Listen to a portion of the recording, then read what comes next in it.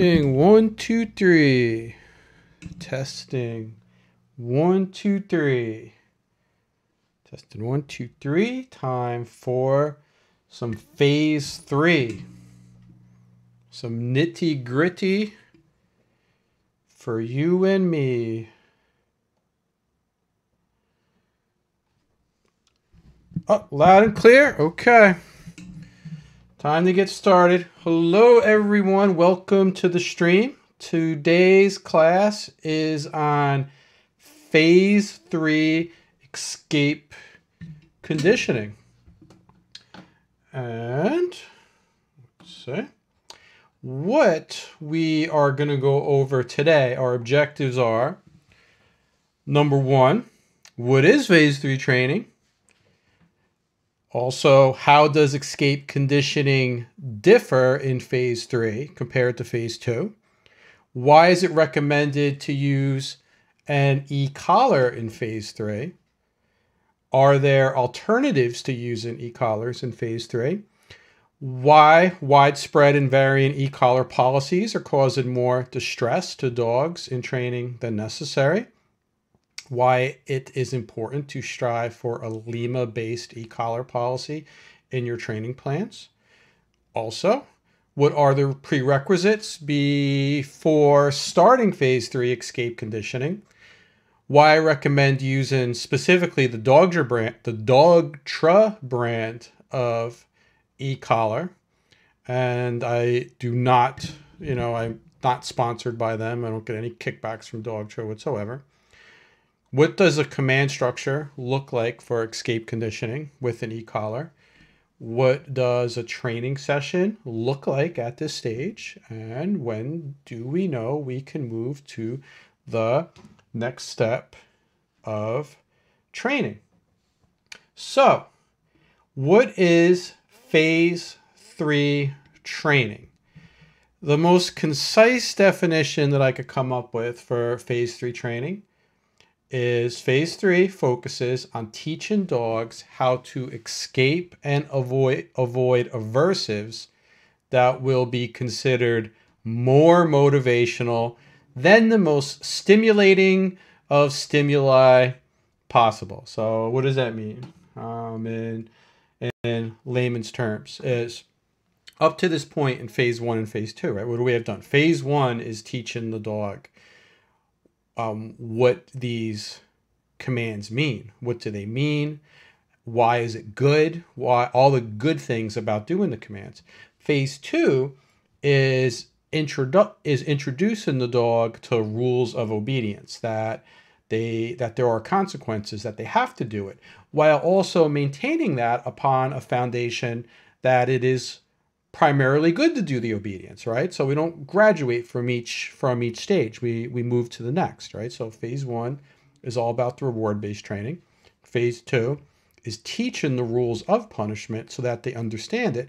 And we can do quite a bit handling a dog in phase in phase 2, but phase 3 is for those dogs that need to be trained around very high level distractions and how we can do it in the most humane way possible. So I put a couple of quick videos over here just to give you an idea of like what is the most stimulating of stimuli possible. So that depends on the the dog. So I chose two clips. I choose one clip from like 15 years ago um, for a reason because I'm going to be doing a demonstration on this ex- exact command, you know, teaching a dog to go to a place and an e-collar later on in the class.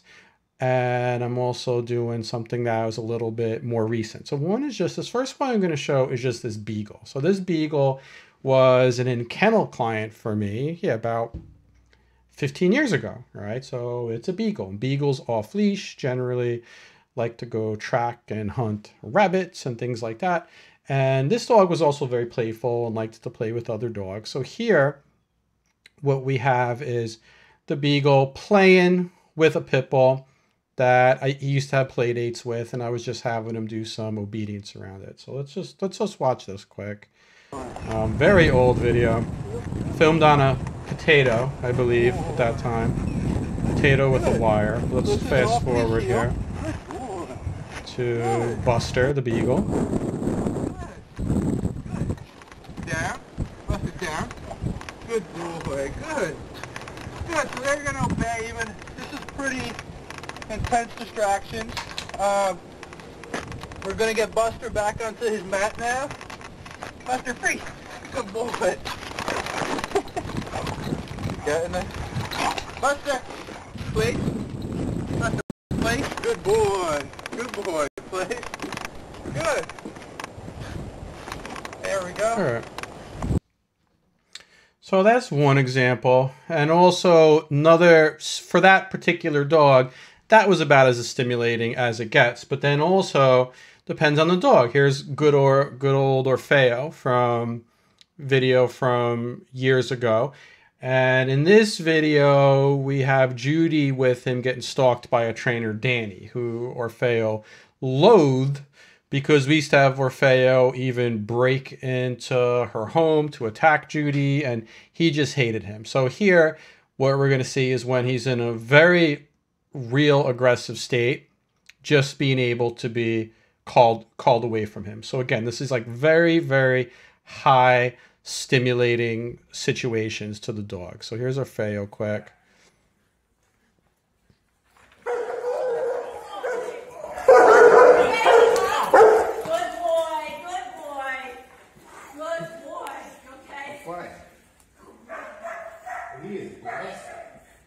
All right.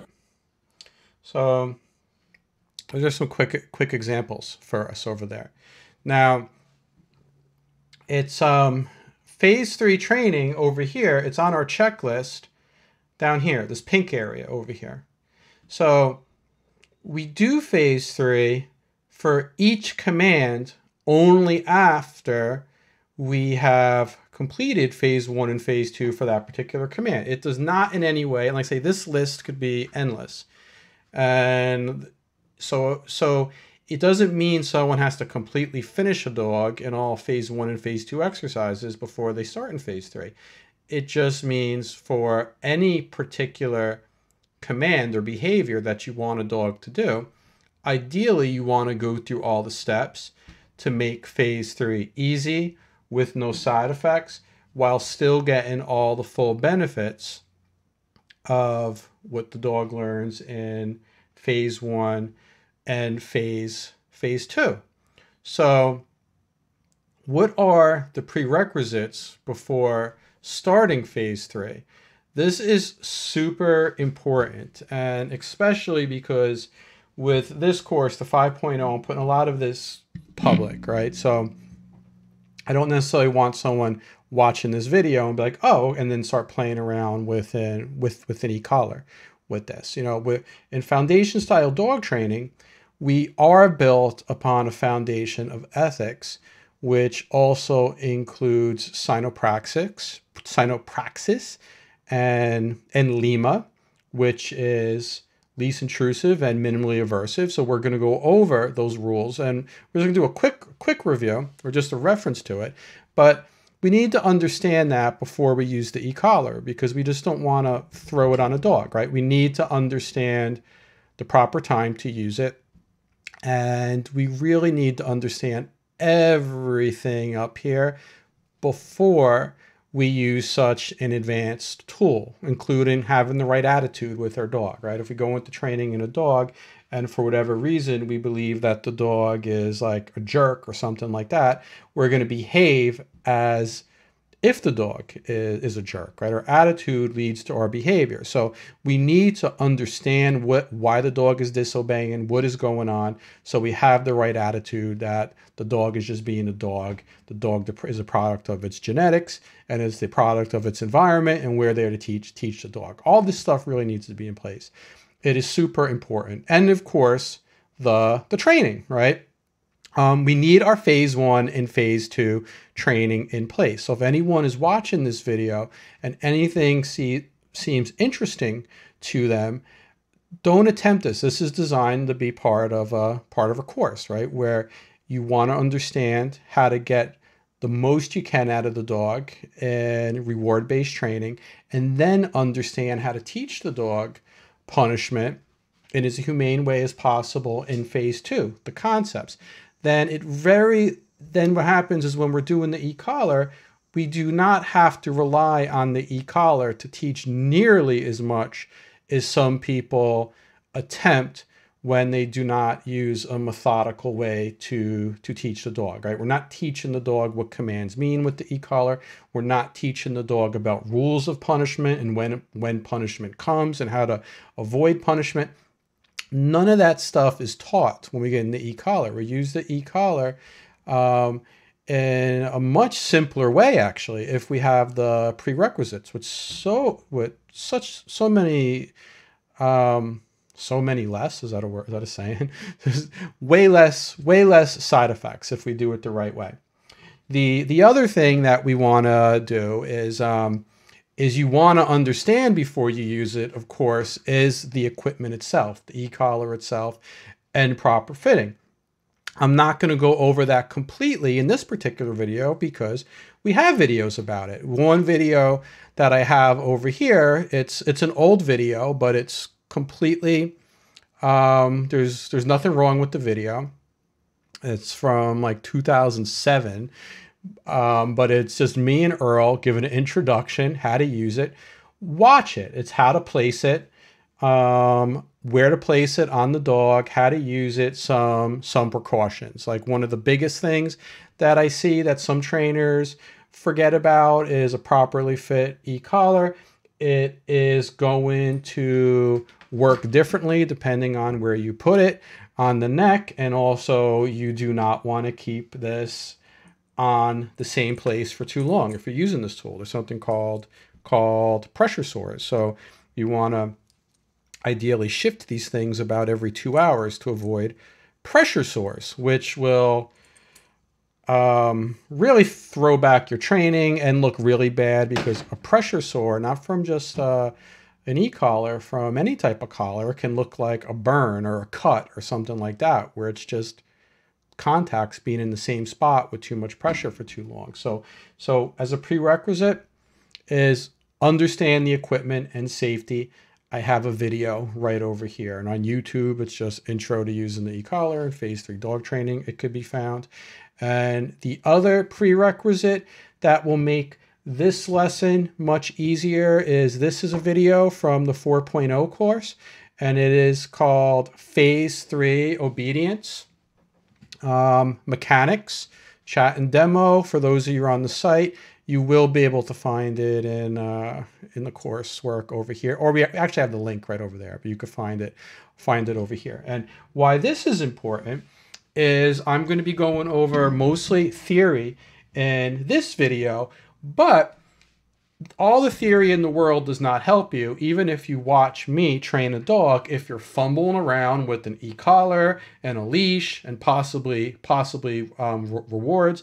I'm going to demo just how to do it on one command. But if you watch the mechanics videos, it will give you ideas how to hold the leash, how to use the e-collar for all the major commands. And that's why it's why it's important. You know, how you're going to handle this when you're doing basic recalls, sits and downs, doing heel, stuff like that. So watch watch the mechanics video as a, as a prerequisite to this.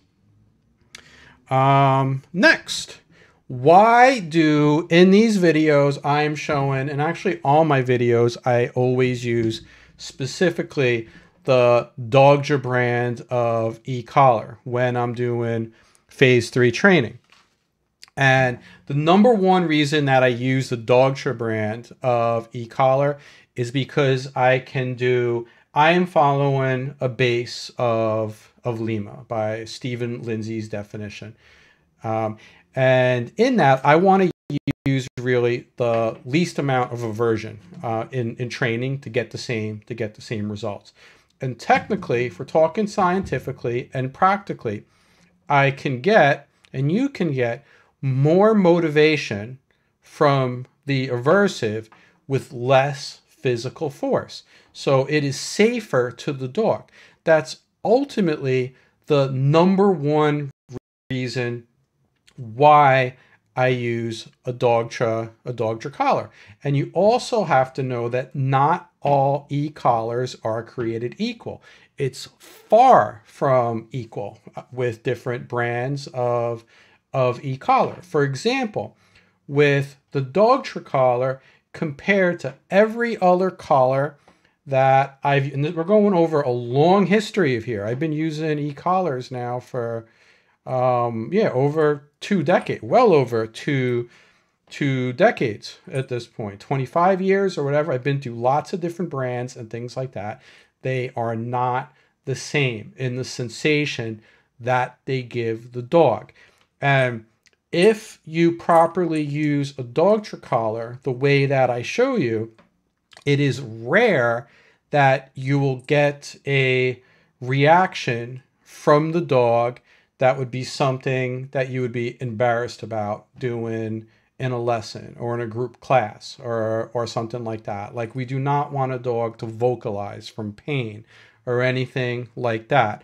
So for example, this Dogtra collar, I put it on my neck is one thing that I like about it is you can do a stim that is super super quick, like a split second. I'm going to do on my neck and it is very good at just twitching the muscle. All right. A lot of people think when you do this, the dog is experiencing like some sort of like like hot sensation or um, something like that you would imagine if you stuck your finger like in the socket to an, an, electrical socket. But what you should see if I put this on my, on my neck is is I'll turn it up.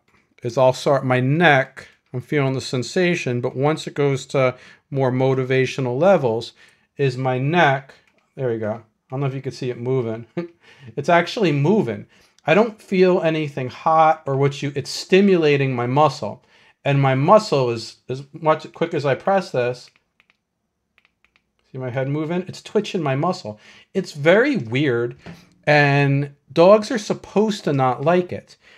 But I do not want a dog screaming out in pain or so worried about the aversion itself that they cannot concentrate I definitely do not want a client feeling guilty about using one of these because they feel like they're completely um, torturing their dog.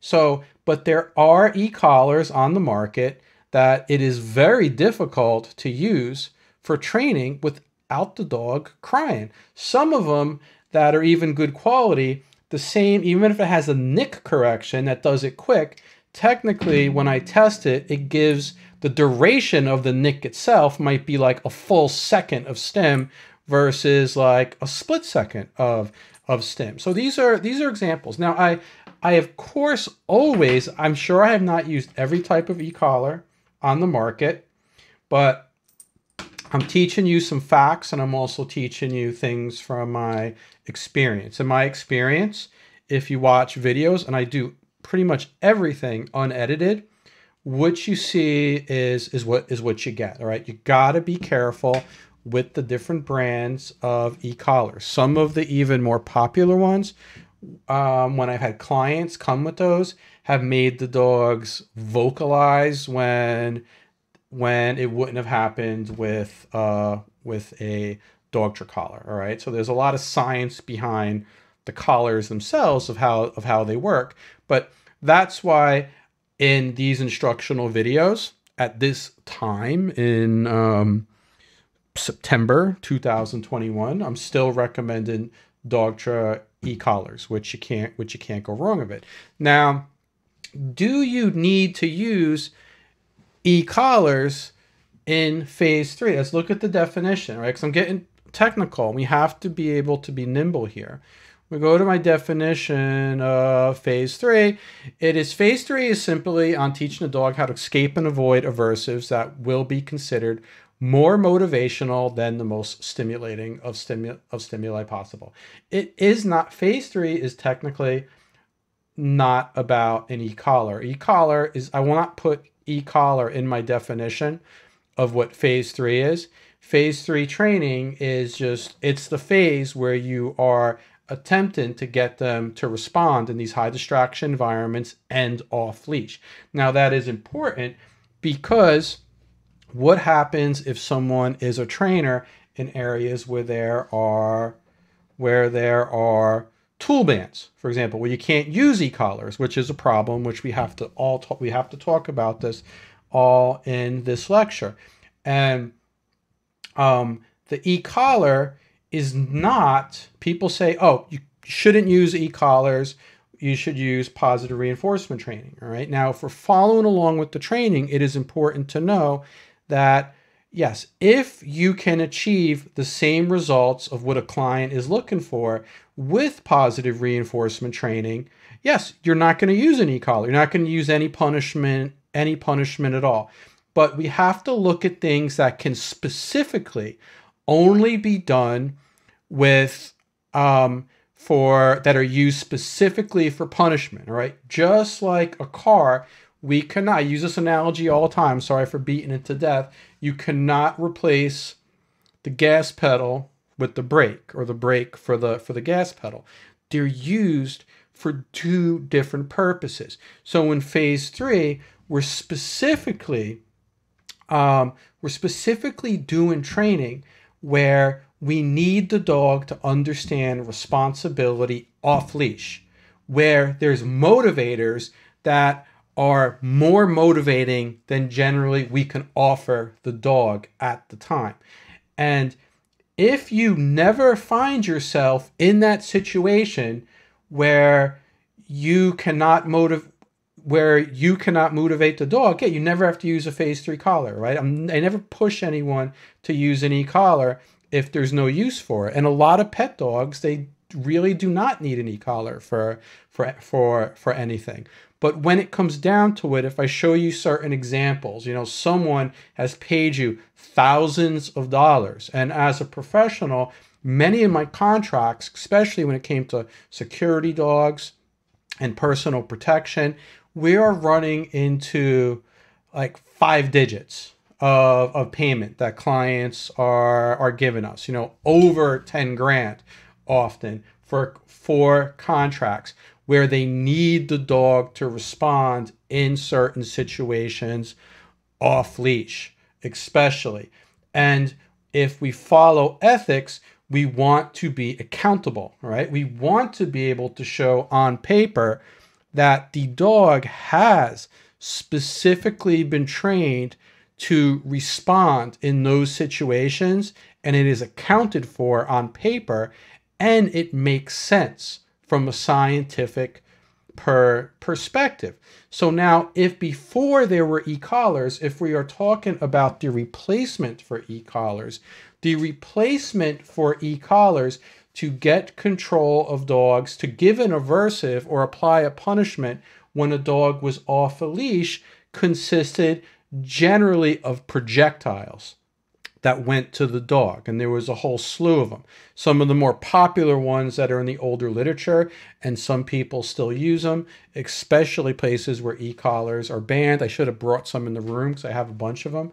Are throw chains where they would throw chains at dogs if they couldn't reach to give them an aversive. Other things, and I said, it were slingshots. Things, slingshots loaded up with BBs to hit the dog at a distance, or pebbles. And I have seen old school dog trainers that had this equipment, still did that. It still exists. Now, if we're talking from a Lima perspective, we are an e-collar is far safer than throwing things at a dog, especially things like BBs and stuff like that. A slingshot that could hit the dog in the eyes, it could hit them in the testicles, all sorts of things. All right. So so understand um, why um, we we why I suggest an e-collar because it is the most Lima way to to do things. So very, very, very important. Now, and just to kind of show, this is kind of funny, a little, little, little break over here, is I, I tested myself with, just like I put the e-collar on my neck. Like I always want experience with the, with, with the dog, um, with the dog feels. And it's not just about the, it's not just about the equipment, it's how you use it, right? So some of you saw this silly video where I put a prong collar on my neck and I let the dog correct me, right? Um, a little short. Very, very loud. Oh, hunky.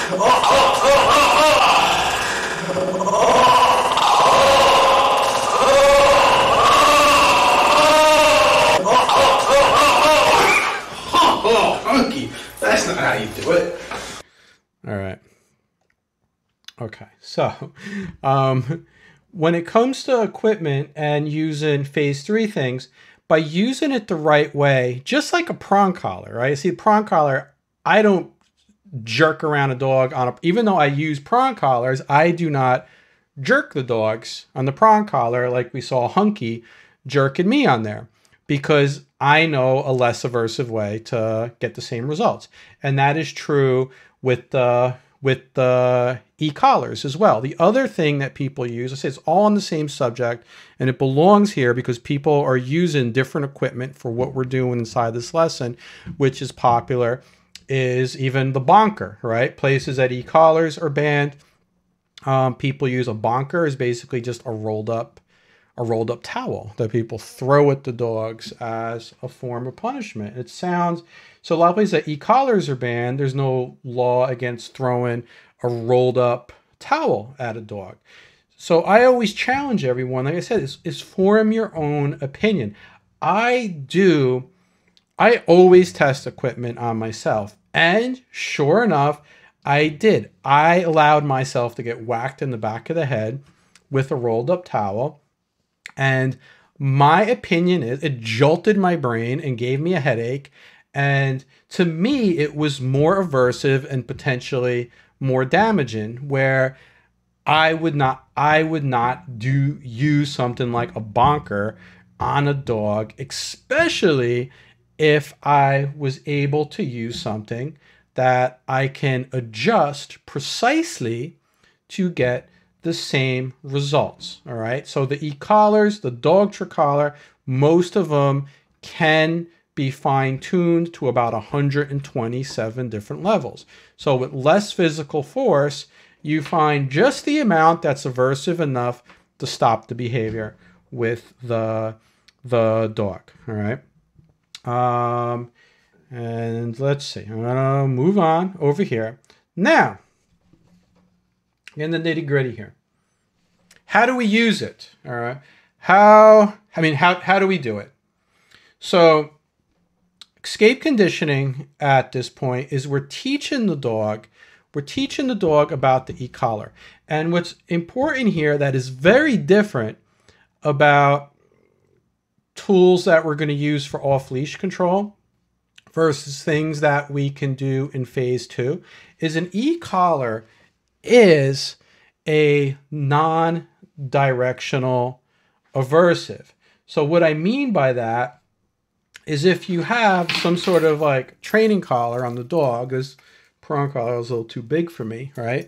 Is generally if you're doing the aversive, the aversive is applied a little bit differently and tends to like help move the dog in the position that you want, all right? So if someone was doing a punishment for down with an e-collar, I mean with a prong collar, they could pump it down or sit, they pump it up. If I'm getting, I mean, it helps me. It actually physically helps and directs. Now with an e-collar, an e-collar, this this is very important, is it's the it doesn't matter if I'm being punished for a sit, a down, a come, a place, a leave it, anything. It's the same sensation on my neck. Did I turn this off? Um, it looks like I turned it off. Well, it's it's the same thing. It's in the same spot. It's the same sensation it does not help me at all. And this could cause major issues in the training, horrible side effects. And it's one of the reasons why the e-collar is an advanced tool that you need that you need to know what you're doing. Because even an, an aversive, even two things that are equally aversive, uncomfortable, it is going to be far more stressful to the dog if they do not understand how to escape it, what to do once they get it. The stress levels will fly through the roof with the dog, and you can get bad, bad, bad side effects, which is why phase that's why escape conditioning for the e-collar is is separate and we do a little bit differently than what we do for the for the phase two. So the way that we do this is one is we want to make sure that we group commands into types during phase three. For example, and this is also in my mechanics video, but I just want to give a reminder because it's so important, is you don't overwhelm a dog with an e-collar. I tend to group types. I suggest it's possible you can train a dog without doing this, but it's much easier for you to to um, to read the dog and know when they understand something and move quicker, in my opinion, if you group your commands into types and don't work on more than one type at a time. For example, any command that involves having the dog generally come closer to the handler. So things like come and leash manners or this way, come this way with me, um, heel, where the dog is generally coming closer to me when it involves proximity, moving closer to the handler. You can, I suggest you work on just that type until and and just use phase two training, leash training in aversives until the dog understands the escape conditioning for those types. Or any commands that you're doing that involve moving away from the handler, like sending the dog to a car to jump into it, or to go to a place command, or or you know anything like that anything where you're sending the dog away from the handler I would not mix those with command. I would not start those while the dog is still does not understand the escape conditioning for the commands to come towards you. Again, this makes it much harder on the dog and harder on the handler to decipher when the dog understands the escape conditioning. And the other group are things that involve the dog not coming or moving away, but staying stationary and just basically changing positions. So things like sits, down, stands, um, that kind of stuff. Is do those separate. Technically, it does not matter which type you start with, except I find it generally easier to work with the ones that involve coming closer to the handler first, like on leash stuff and heel stuff and come, because one, it's more useful to the average client, and two, you get um, it, it's you get more chances to teach the dog in those in those in those commands. Uh, so that's that's what I suggest suggest doing it. So here, what we have is I'm going to go to the video of showing me and Judy. I'll be training Darcy. She'll be training Orfeo. And here goes some command structures. So this one, this full command structure, we were introduced in the end of phase two. So now when you're doing a training session with the dog, you keep this same command structure for any command that you are not working on the escape conditioning. You maintain it. Now, for any new command that you're doing, you switch up the command structure.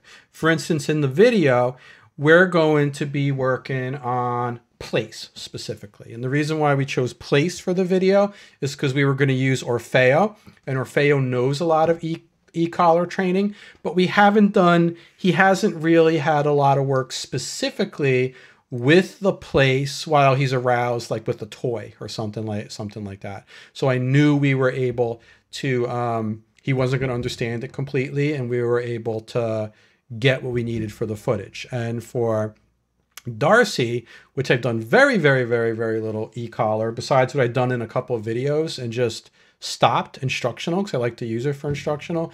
She she has done some she's done some place, but not in a couple of years and it was only a couple sessions. So i knew i would get what i what i needed from her here. So that's why we chose chose the the place. Now when we're doing the place for those commands it's important big change over here is that we are not um, using the word no we're removing the word no from the command structure, which is the condition punisher. And the reason why we're doing that only for these commands is because we need the dog, we're teaching the dog escape conditioning. We're teaching the dog the negative reinforcement to the e-collar and what to do. So we need the dog to make a mistake, right? We need the dog to make a mistake in order to teach them that lesson.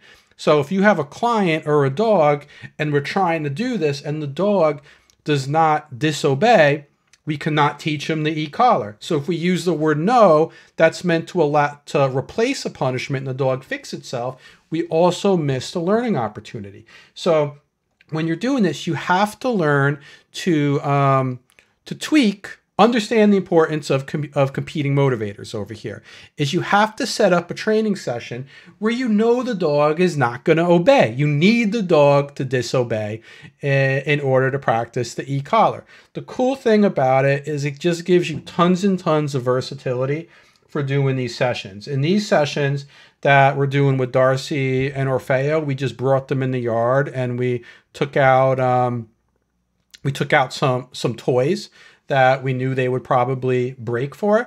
But you can also do these like with a client. Sometimes you'll know there's situations out on walks, different environments where you know the dog is more aroused by the environment and the motivators that are around them are generally more motivating than their reasons to obey that we've done in phase two, which is generally, you know, usually like food reward, petting, and mild leash corrections at this point. All right. So if there's things where you think they're going to break, you can, you have to set the environment so that the dog will disobey so you can teach.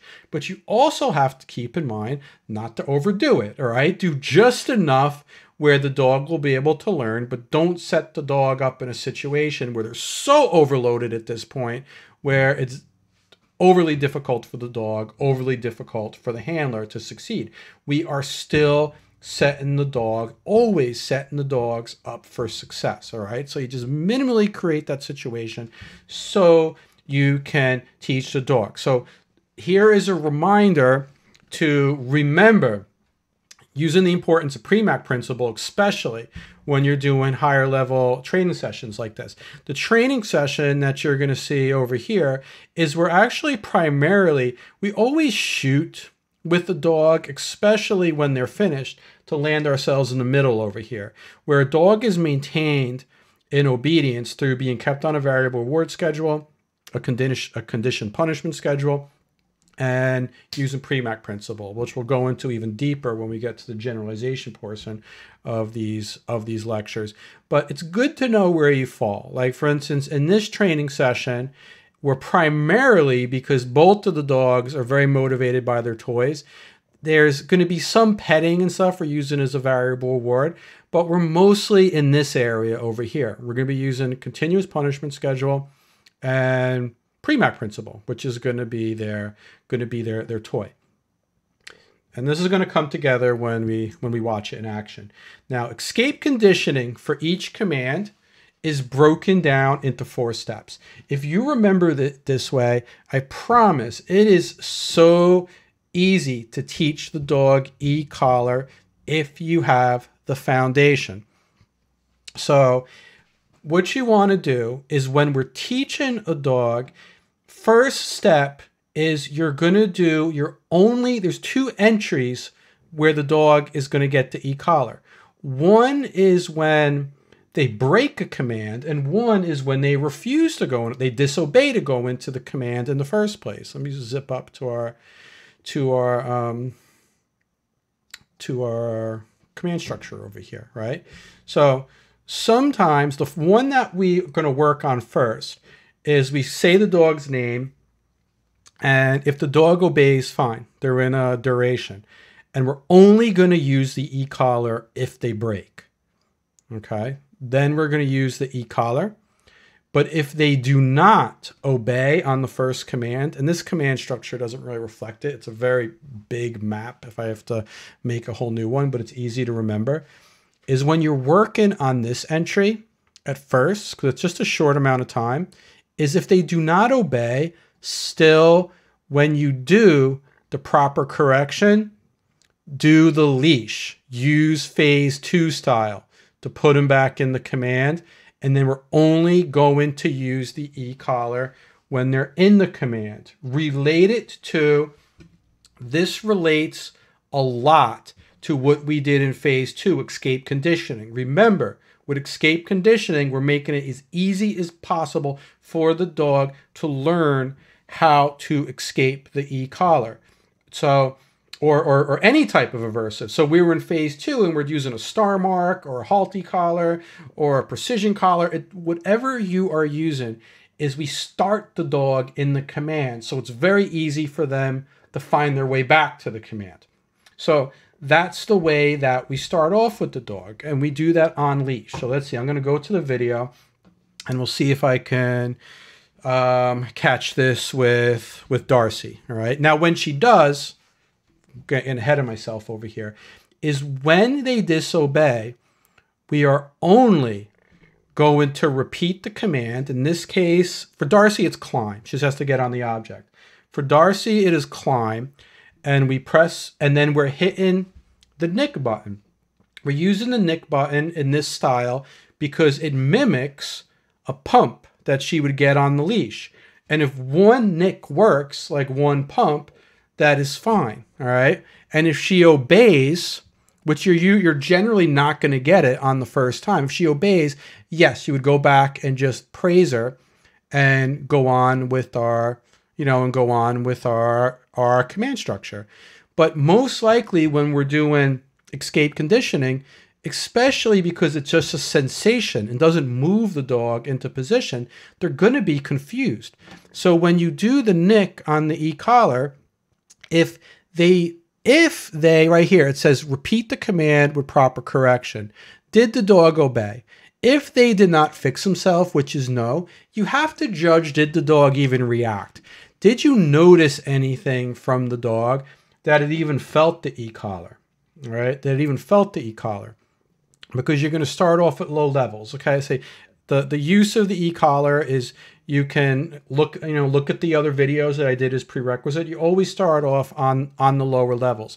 But if the dog did not even react there's not going to be any learning that happens. So if this case if the dog did not even react I wrote no raise the level all right? How much you raise it depends a lot.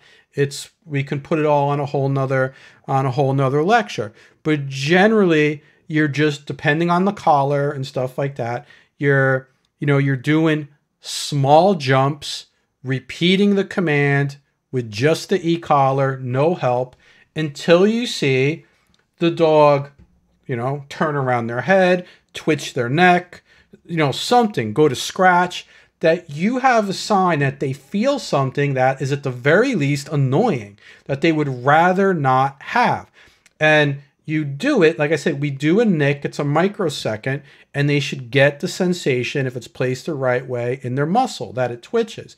Now, once you get to the point where the dog, you're doing the e-collar, and they did not obey, and did the dog obey? Did the dog react? The dog is reacting, even though it did not obey.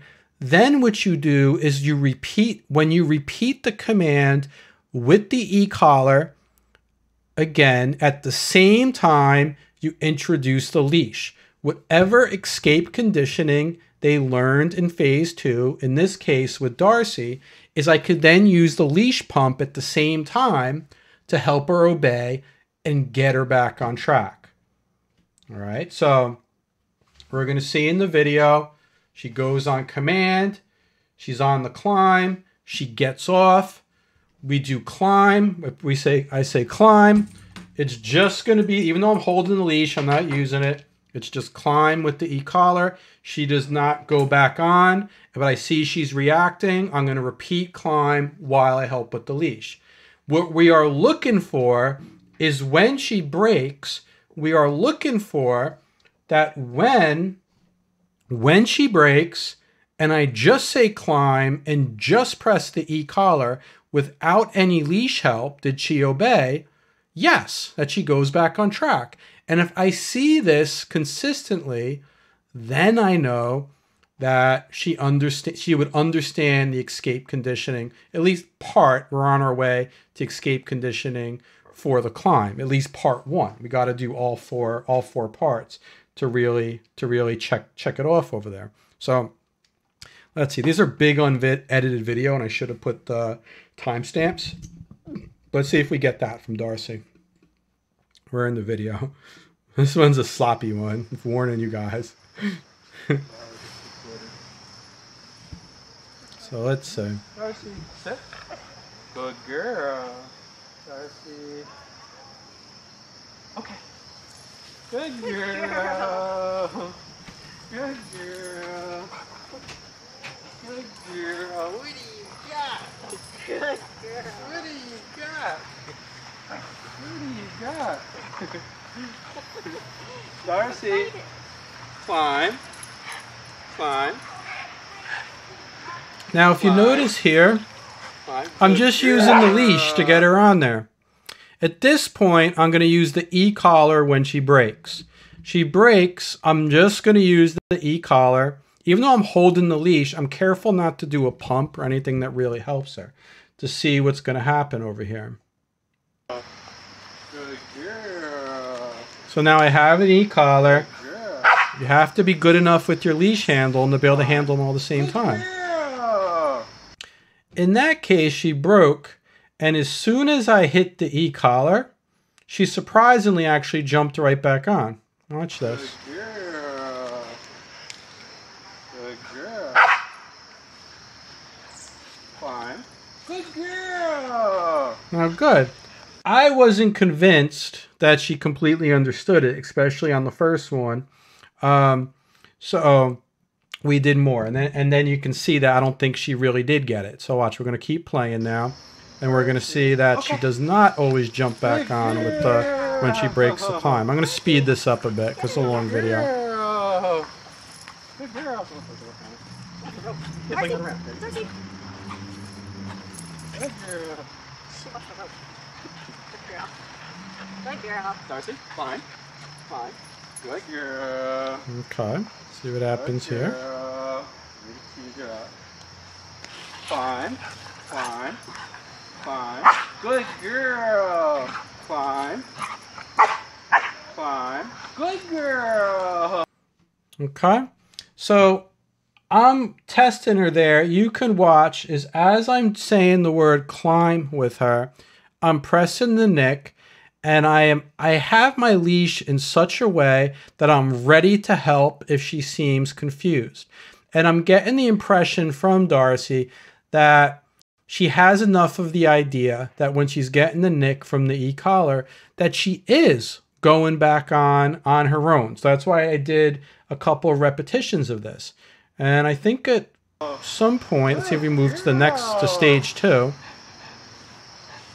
Let's see. Climb. Climb. Good, Good. girl.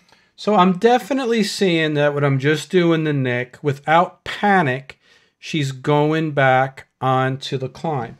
Now that brings us to step two. That brings us to step two, which is doing escape conditioning on leash, enter in the command. So that's from different location. So this isn't from this direction. You have to do both. Always start off with this because this is easiest for the dog. From the entry is you say the name of the dog, you give them the command, and if they don't obey now, no, is you start off just repeating the command with the e-collar correction. And then it's the same thing as before. If she happens to go on, we're going to praise her, and it's good. If we see that consistently, then we know the dog is understanding, at least on leash, to enter, the, to, to escape the e-collar correction by going into the command.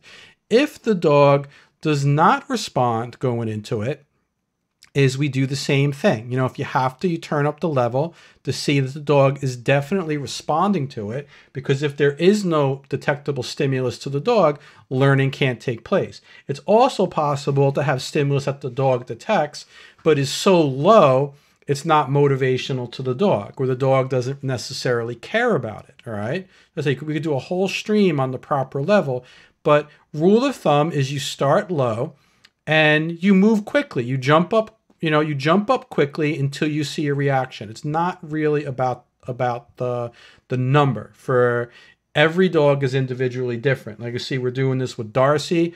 Her levels are that we're using here are probably like a third of what we're using on on Orfeo.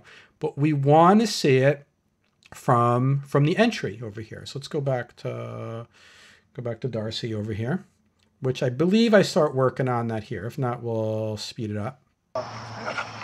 Darcy, okay. Speed it up. You, you like the roll? Good girl. She's real good at talking with the school. With the stuffy. Oh, it's stuffy. Oh, you think we got a stuffy? She got it? That's fine. Okay, yeah, why not? She'd be, I think she'll be good. Why not? Go ahead, Oh, we switched up her toy. Good girl. Okay. Speeding it up. You don't know what to do with this one. Yeah, those are stuffy. fine. Fine. Good girl. Keep in mind, we never, again, we're going back and revisiting the fact that it's cynopraxis. Like e-collar, even when you're doing escape conditioning with the e-collar, which is definitely the hardest lessons you have to do as a dog trainer, that is gonna you where you're gonna use the most amount of versives than in any lesson, I would say, is you should still get the impression that the dog is not going to mind coming back and doing another training session with you because they primarily enjoyed the training session with you. Fine. Fine. Good girl. Darcy, okay. Good girl. Good girl. Good girl. Good girl. Good girl. Good girl. Good girl. You get it. Good girl. We're giving her some wins. We're balancing it out. Good girl. Good girl. Good. Darcy, sit. Sit. Good girl. Darcy, don't do that. Hold on. In front of the. Darcy, come. Come. Good girl. Darcy, fine. Fine. Good girl. Good girl. Good. So I was seeing here good reactions to the e-collar. Good girl. What do you got? What do you got? What do you got? What do you got? And let's see. I think we start the I start the entry on leash. Come. Come. Come. Good girl. Not That's using the e-collar for Fine. any of that stuff. Fine. Fine. Good girl. Okay. Good girl. So it's all e-collar Good there. Good girl. Let's not keep talking about. I'm gonna try to do it. I'm gonna do uh, do escape conditioning off of it. Just drag it right off there. Okay, so here's where we start the escape conditioning from the entry into the command. Let's see how the first one goes with Darcy. Now, when you're doing escape conditioning going into the command, the same thing applies that we want to make it as easy as possible for the dog. I still keep her close to the climb. Um, if it's something like this, if we were doing the come, I would do the escape conditioning for the come on a six foot leash because the dog is super close to me, right? I'm not going to do the first ones with the dog out on a long line across the across the other side of the yard. You make it very, very easy for the dog. See, so I'm going to keep the dog close, close over here. I'm going to keep Darcy, and she. Let's see how she does here. She really likes her stuffies. Darcy, climb. Climb. Climb. Climb. Climb. Climb. Uh, Good girl. Now, what we have here is look how close I waited to do this first one, that she was very, very close to the climb. And then afterwards, she did not obey. And every time I'm repeating the climb, I am noticing that she does not seem to be reacting that much or care or be really trying. So if you watch my finger, you could see I'm slowly turning up the level each time I I I repeat the word climb until I see that there's some reaction from her. Then I am ready to help her. I'm ready to help her if she seems as if she truly does not like it and she needs the help. But what I liked is I saw that she was responding. She started respond. She responded the right way after she started to to care. And this was most likely because she was just more motivated, more fired up by her toy.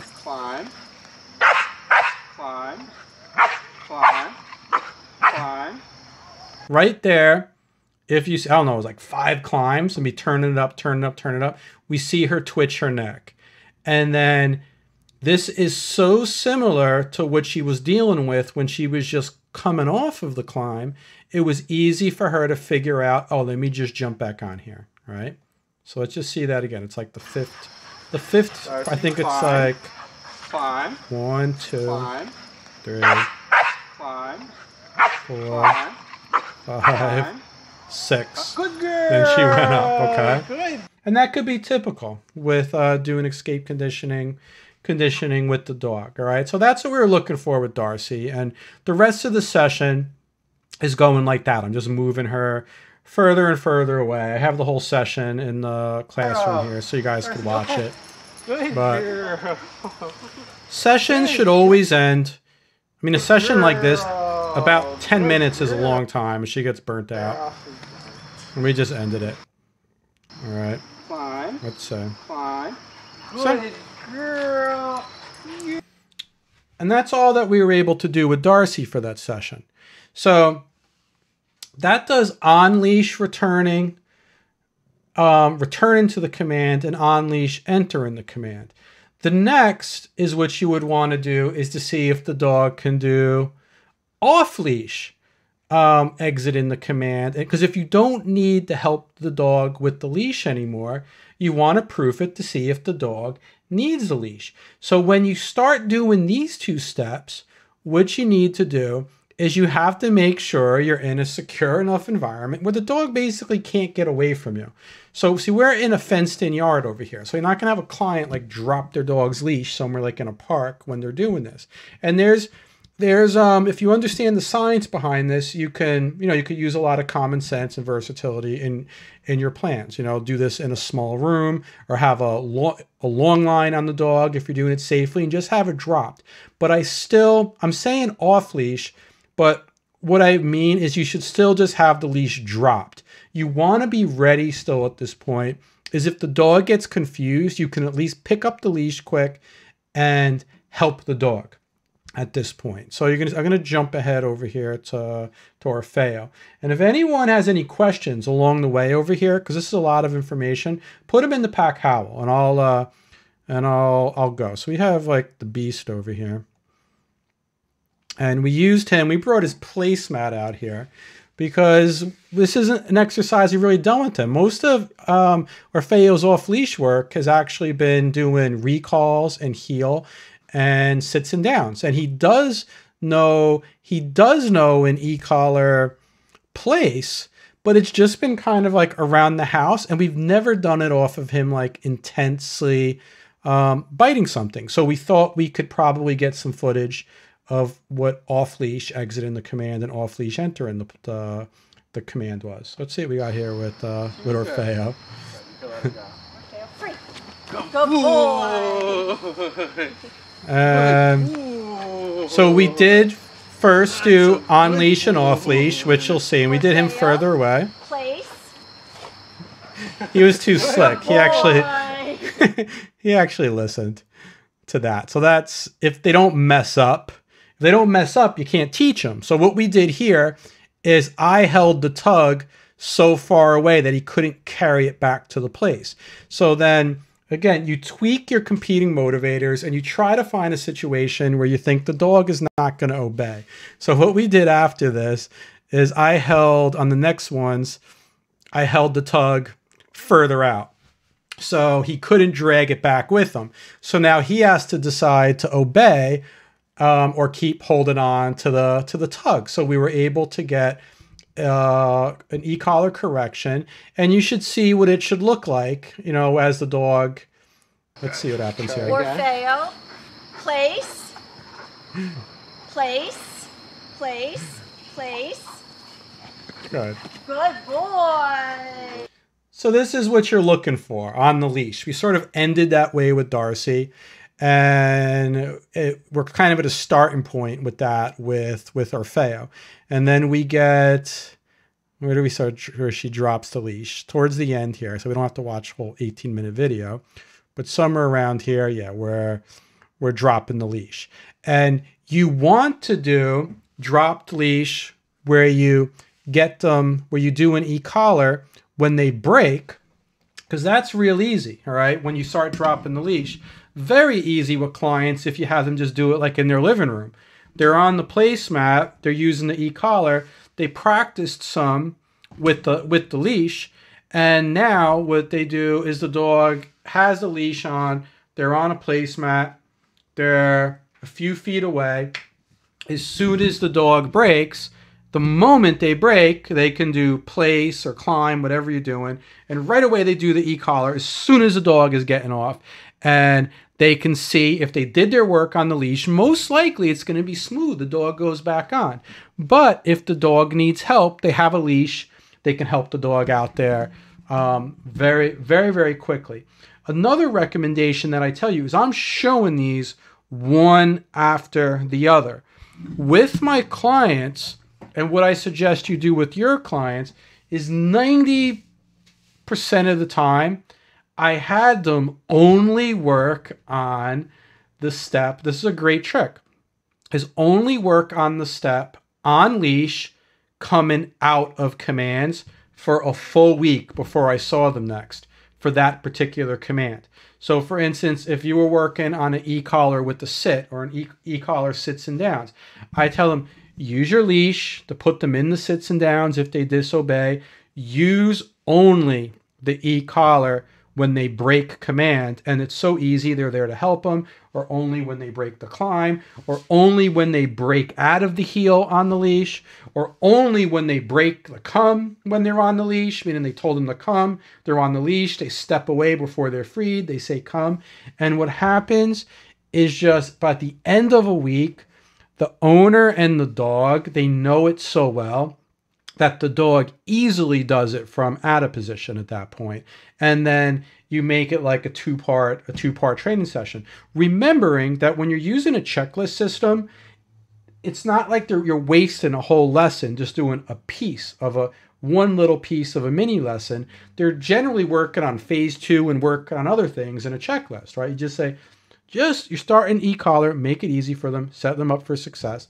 Just do just do just do one part of it. But then what you're basically looking for is, let's see, towards the end of the session, Good boy. is we have the leash dropped. We need him to disobey, and we need to make sure that he knows how to get back to the command with just with just an e-collar correction. He knows how to escape it. We'll make it easier for him. We'll be right here. Oh, good boy. Yeah. Orfeo. Place. Place. Place. Good boy. Good. Good boy. Good. So we're looking for that, and then we got him doing it on one on one Good nick here. He's trying to make it easier for himself. We got it on one nick. Here, We'll we'll give speed to it up. There was one freebie. One freebie.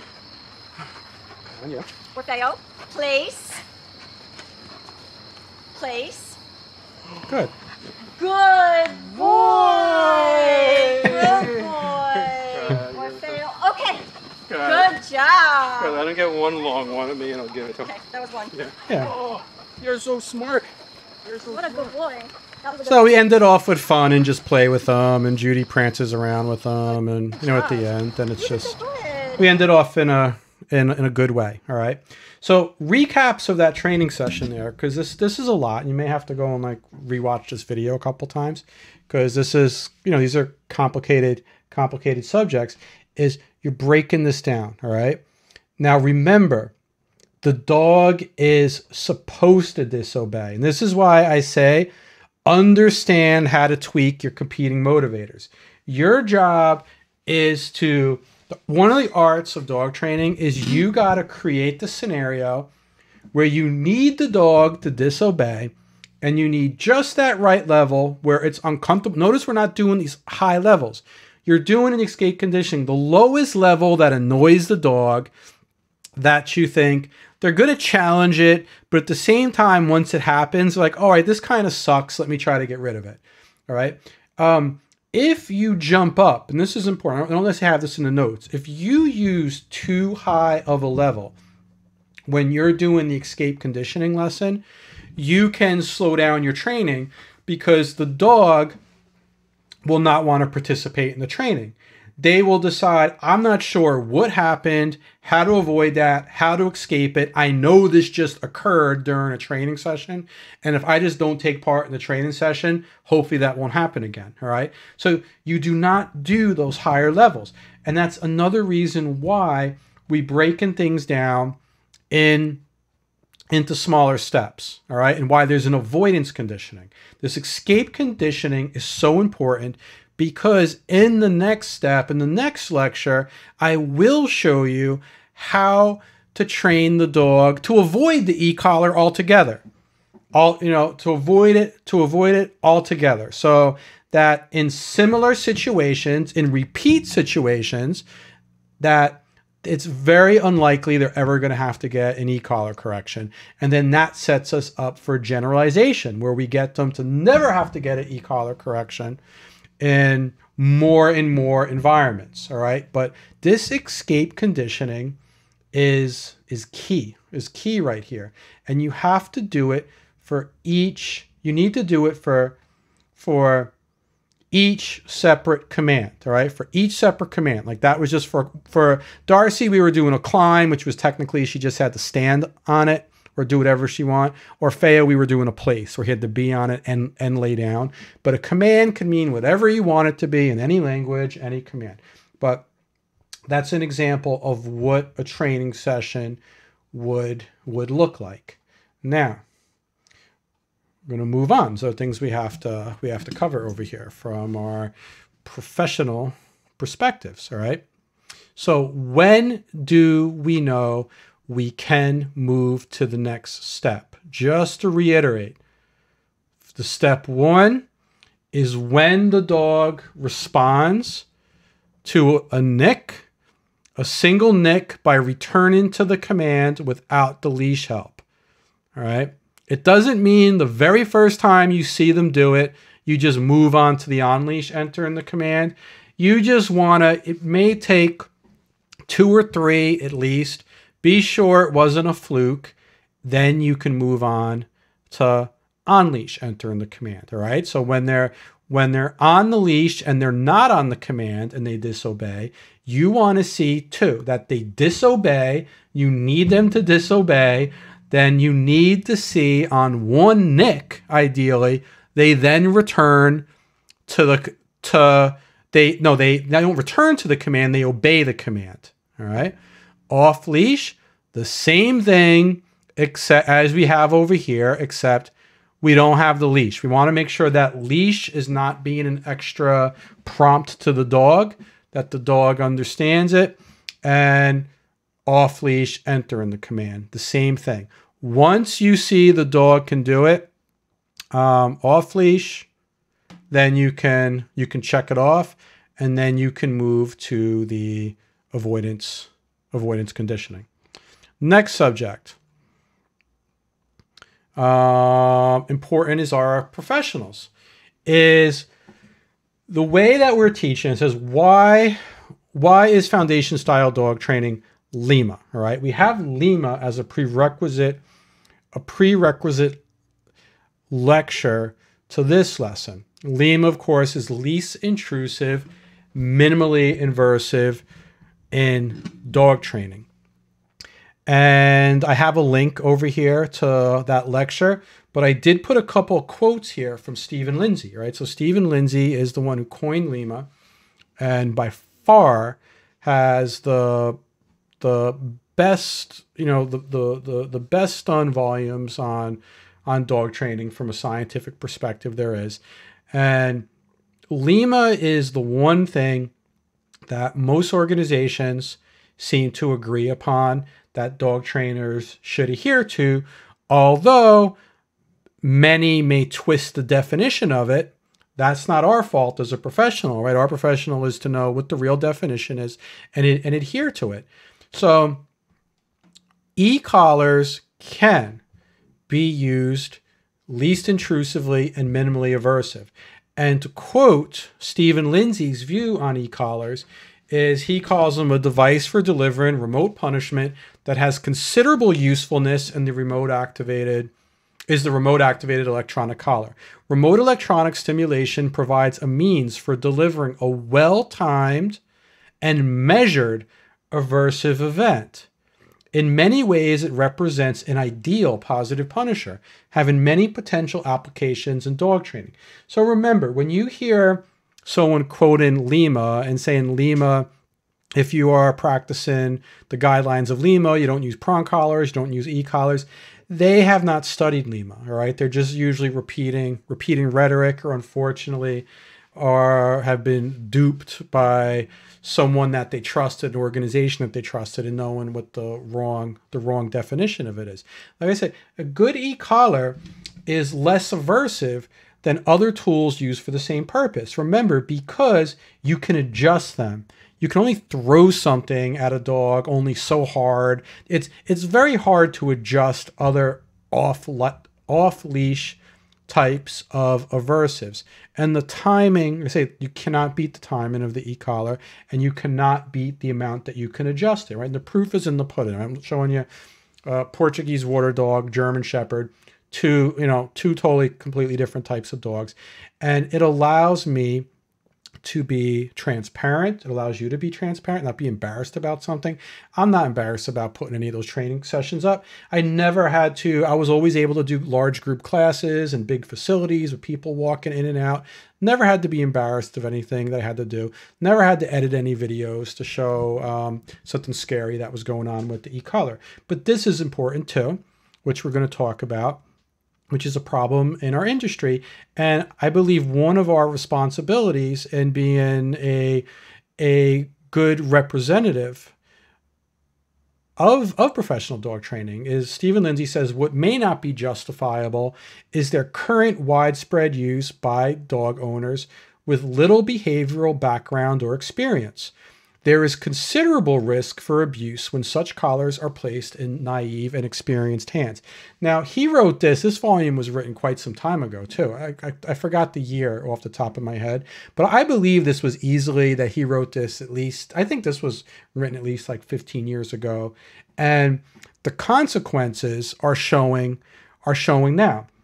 Um, and I put some, put some notes over here is is um, why what we're doing is Lima and why we're having consequences if trainers um, stop stop being Lima or try not to to follow the guidelines of Lima when you're using the dog when you're when they're using e-collars. So for an example, um, if you use the e-collar this way, we are potentially, for trying to be least aversive or minimally aversive, we are using easily potentially using over 99% less e-collar stimulation used during the actual process.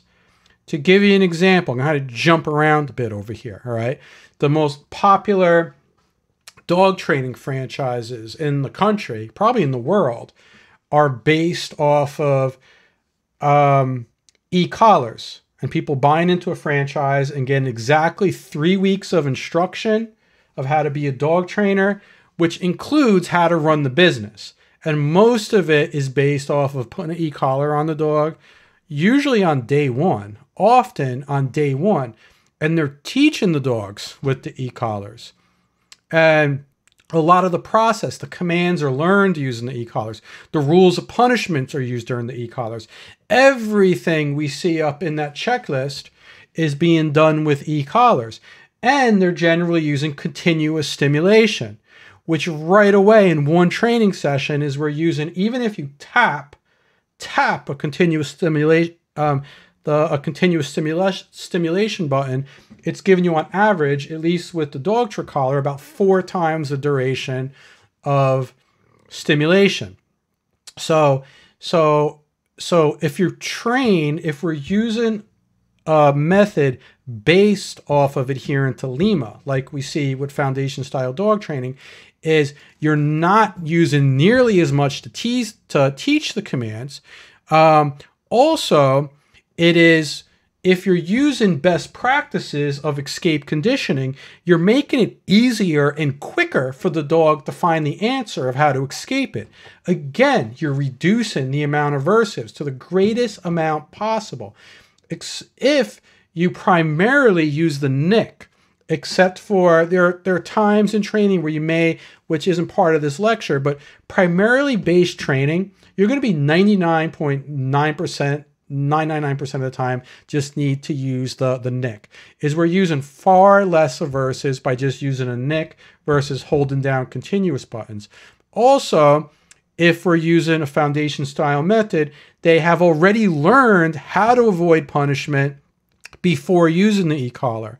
So even understanding how to avoid e-collar when we're doing the avoidance conditioning part of phase three, it's very short because they already understand when punishment comes and how to avoid it. So you'll see when we're using the e-collar in the next phase, once they decide that they don't like the e-collar, they know how to avoid it. They just they just avoid it. All right. It happens very, very quickly. Again, reducing the amount of aversion, reducing the amount of stress.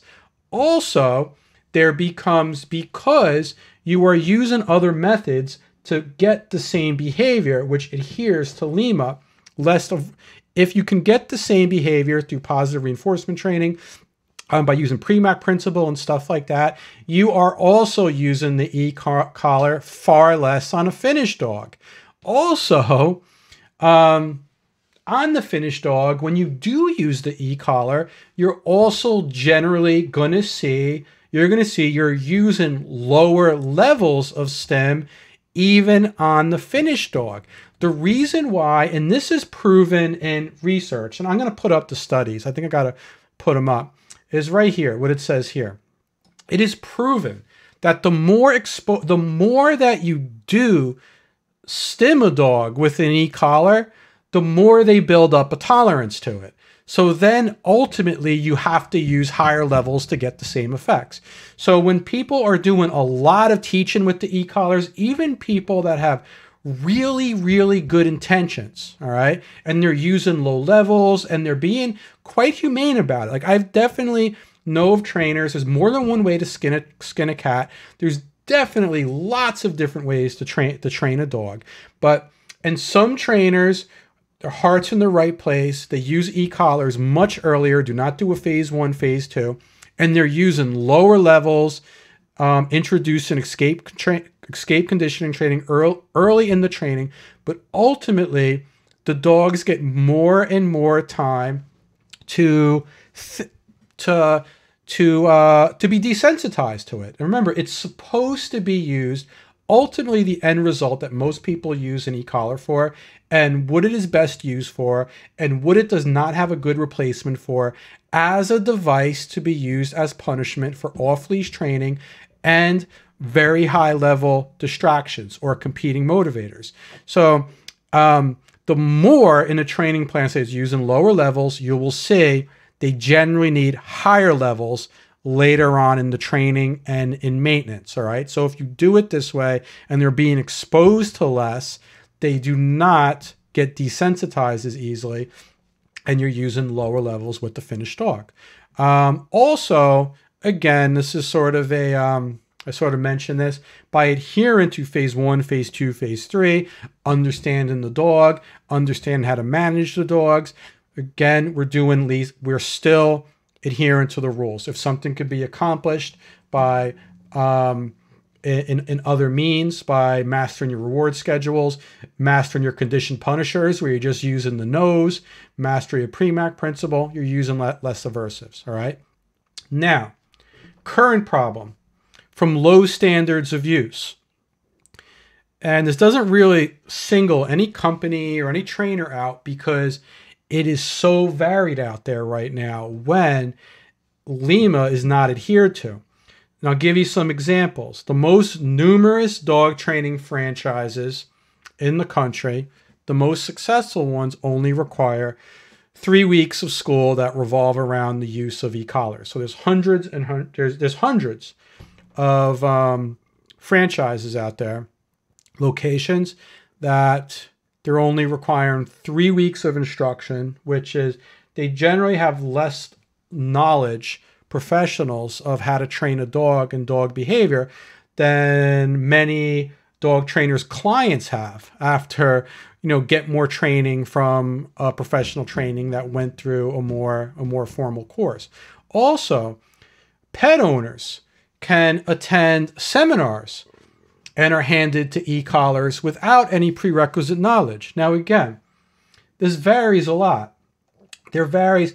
People can go to seminars and it can range anywhere from a trainer that just hands people e-collars and just starts starts frying the dog within minutes um, to someone who does a seminar and very thoughtfully very thoughtfully and as humanely as possible tries to teach someone to use to use to use the e-collar the problem with this is when we're not adhering to a standard is even the best of the seminar trainers is there's no guarantee. There's a lot of things before using the e-collar that there's no guarantee that these people understand. All right. There's so we're not being Lima, right? A lot of problems could be solved without the e-collar. So during a lot of like seminars and things like that, like I say, it really, really, really varies. Is we don't know what's happening in these, and there's no standard. No one's really holding the standard. Even which I love the device, I love the tool. Even the Dogtra brand, which I love this brand, a consumer can buy this, and I, I counted the amount of sentences. The, they give you instruction on how to use it. And I think I think I counted 16 sentences of instruction on how to train a dog with an with an e-collar. So overall, and like I said, even these franchises, because you know people are going to watch this that own a franchise, it's I'm talking minimum. I'm talking minimal standards of what could possibly occur. I know I have seen some some trainers who have bought into franchises that came with their own bunch of knowledge and continue to learn even after they've been in the fran- in the franchise and know more than minimally or what they're supposed to know. But I'm just showing you that there's there's just no standards. Like this is really the bare minimum. Now, this is definitely a consequence of this. There's bad public relations, all right? There's tool bans. Consumers are not protected. Consumers are not protected. If um, someone calls, uh, you know, they they call the, you know, they go in the, I was going to say the phone book. No one uses the phone book anymore. Um, but someone goes online, they find a trainer, and they're going to drop their dog off for a two week board train program or whatever. Is the dogs they don't really know what's going to happen to their dogs with the e-collar. So we're talking about uh, protecting the dogs also, and we're also about profession professional protection. Um, if someone I noticed for the first time, I would say about 15 years ago, was around the first time. It was when e-collars started the first spark, I would say, you know, about a, somewhere between like a decade and 15 years ago, when these first sort of like quick, I always knew the e-collars can be abused or or what's the word? Be used like for hack training, for like quick fixits and stuff like that from a business perspective. I remember getting phone calls for the first time about a decade ago, a little bit more than a decade ago, where people would call up for dog training and asking if I used the e-collar for off leash and asked how quickly that I could do it. And they're like, oh, well, this other business said they could do it in two weeks, right? And I was not going to try to compete with that. I was I was fine. It was like, well, you're gonna kind of get get what you pay for. Trying to be try, trying to be nice about it, all right? Is what are the standards that a consumer should expect when they're training the dog and what are they missing? And again, I have lots of stories about what happens when a dog gets an incomplete education and when you hand that dog over to a hand to a person who has an incomplete um, education. Now I, i'm not out to bash anybody because the reason why is owners don't know any better. Lawmakers don't know any better. Matter of fact even many professionals do not know any better because they the cliche saying they don't know what they don't know, even if they have good intentions. A lot of people spend a lot of money to enter franchises, go to seminars, go to schools, and they trust that they are being taught in a way that is going to work really good for their business and, and is going to work long term and stuff like that. But because there are no real standards, these consequences are happen directly because of it where it is very unlikely this would happen if there was much more of a standard when we are using e-collars. And I put over here, I'm not even going to, um, you know, I put additional info over here. I'm not even going to put it on this on this stream. This was an old blog post, and it shows footage that was in the news um, from from a franchise, and you can see the difference. See, the proof is in the pudding, where someone was hiding watching a normal days of work behind and it looks horrible you know the stress levels of the dogs and stuff like that where but the the potential errors that could happen on the far end of what is considered acceptable in the business and i put this link here especially because they were tried for animal abuse and they got off right they were not they were not proven to be abusing the dogs because it was considered within the status quo so, you know, there's this one. I'm not going to play any play any of the videos, but it's you know, it was franchises. There's lot. Someone put out lots and lots and lots of video. No need to play it. Uh, definitely, there's names of trainers and stuff like that, but it's not about the trainer. It's not even the trainer's fault that was on trial. Right? He was just doing what he was taught, and they and they he doesn't even doesn't even doesn't even know any better. So let's see, what was Art saying here? Suggested regarding the vids, how about having a light word flash each time you're stimming because it's hard to see exactly when you're stimming. I'm pretty sure that's technically possible. Oh yeah, yeah, Art. Um, yeah, for instructional videos, that would be really good. But one man team, I don't have quite an editor. But what I can say is um, if you if you understand if you study the command structure I am adherent to the command structure. So, so even though that would be ideal for maybe someone who was kind of curious, if someone is watching, I say these videos, like I, I would still do it if it was easy for me to do it.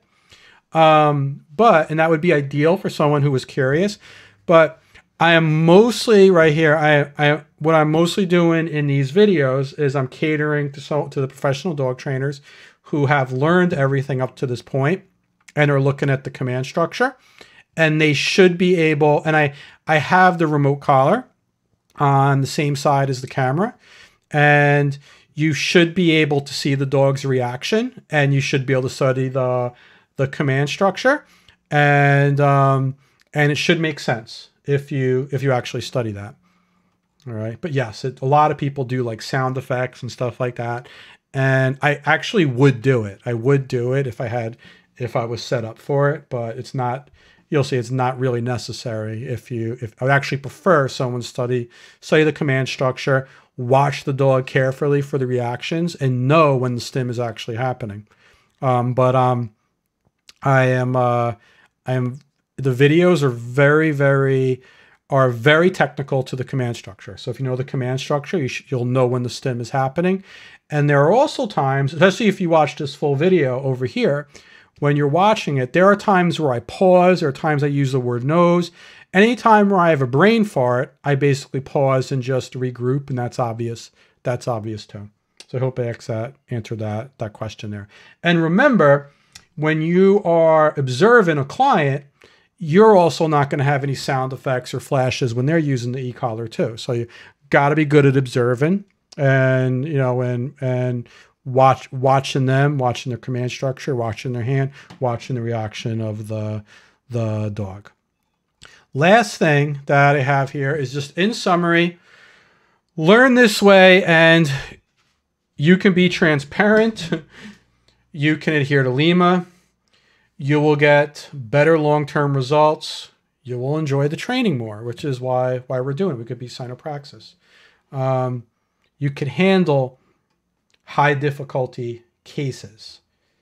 These, if you watch my videos, right, like I, matter of fact, that's why I, I'm t- that's why I actually showed. I always try to like. It's very easy for these classes to go on for a really long time. One of the reasons why I put this this video is this one of my first my own purse one of my first personal YouTube videos I put up, which was like in 2007 after I was training for about a decade. And um, the th- and the thing that set it apart why people were willing to pay more money and get higher. I was getting um, um, higher value training contracts and stuff is because when you can control the dog around higher level distractions and things like that, you can people will pay more money, right? It's not it's something it's higher level instruction. People don't know how to necessarily do it themselves. Anyone go back to Bob Bailey is is any person he said any person could train any animal to do almost any behavior if you give them enough time. So anybody could grab could buy a Dogtra collar and read the manual and get their dog to go to a place command. Um, but what is that process going to look like? How as enjoyable is the process is going to be? How often are they going to have to be holding a controller in their hand um, in order to get the dog to always to always do it. You know, it's that's why that's why they pay a professional. That's why as a professional, you learn all the steps, you learn how to do it. You can do, like I say, you can do high difficulty cases that require a lot of responsibility, a lot of liability, especially when it comes to things like um, aggression cases. Dogs that people need to manage the aggression or dogs that people are trusting you to control aggression in work environments. So it allowed me to be able to work with security companies and police and personal protection. And it allowed me to have a very fulfilling career um, working with high level cases. So, but escape conditioning is escape conditioning, phase three escape conditioning is the most difficult phase where you have to use the most judgment calls, where people should spend, besides command structure, is people should spend the most time studying it. And you never, ever, ever allow a client to work in phase three or escape conditioning if they are not solid with their phase two especially knowing that command structure like the back of their hand. Because all phase mo vast majority of phase 3 problems that you will find are phase 2 problems. If someone is trying to use an e-collar yet using wrong command structure using wrong rules not using the dog's name properly, you know, not using the right timing, all those kind of things. Um, two, come back to the beginning over here, our objectives. Make sure that we have covered all of our, object- our objectives. What is phase three training? All right, right there. It is specifically teaching the dog to escape, avoid aversives. That will be considered more motivational than the most stimulating of stimuli possible. This is this is very nitty gritty, very very very nitty gritty stuff that should be taken taken seriously. How does escape conditioning differ in phase three?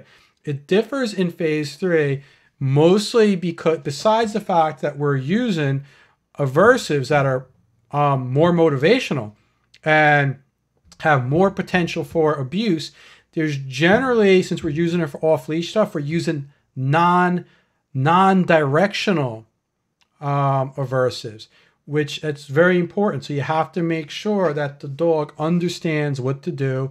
You got to be ready to ready to help. That's a major differences. Are there alternatives to using e-collars in phase three? Yes, they've existed. All right, it's usually things that were projectiles that were that were that were thrown at dogs, and technically. Two, if someone they can use a more motivational leash correction if like e-collars and stuff like that are banned. But it is not it is not the best, all right? It is not the best thing to do because it's technically if we're not if a trainer is not held back by laws, that were put in place because of misuse and misinformation in the first place, what happens is is when tools are misused and then they're banned, it actually causes dogs to now have even more aversive things done to them if a trainer does not have um, does not have proper does not have ability to use those tools all right? Like dogs as long as there's ignorance dogs are always on low standards dogs are always going to be abused. They're always going to be um, getting more aversives more stress than than necessary all right? But even using saying leash corrections and and and light lines you know we, we could use light lines and pick it up to, to start getting the dogs off leash and doing higher level pops now we're getting to something that is much more physical and also makes the handler just by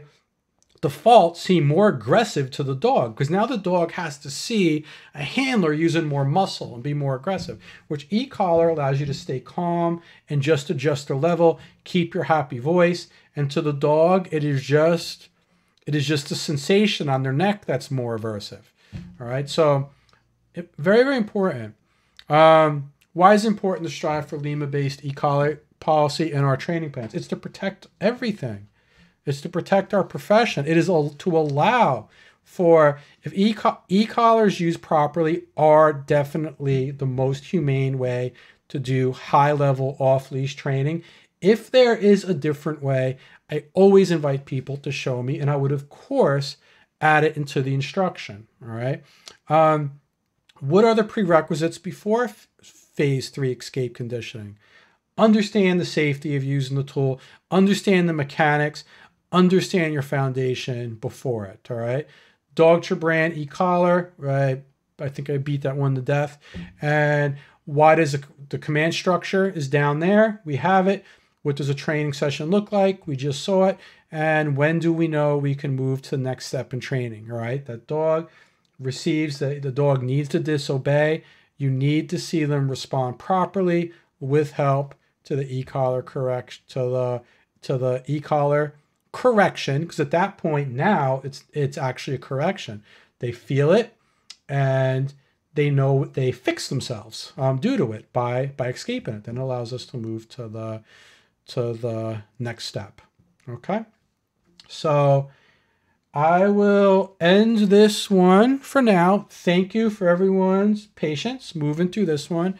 It's uh, it's an important it's an important stream, and I will be back for Q and A, question and answers in the classroom on Wednesday.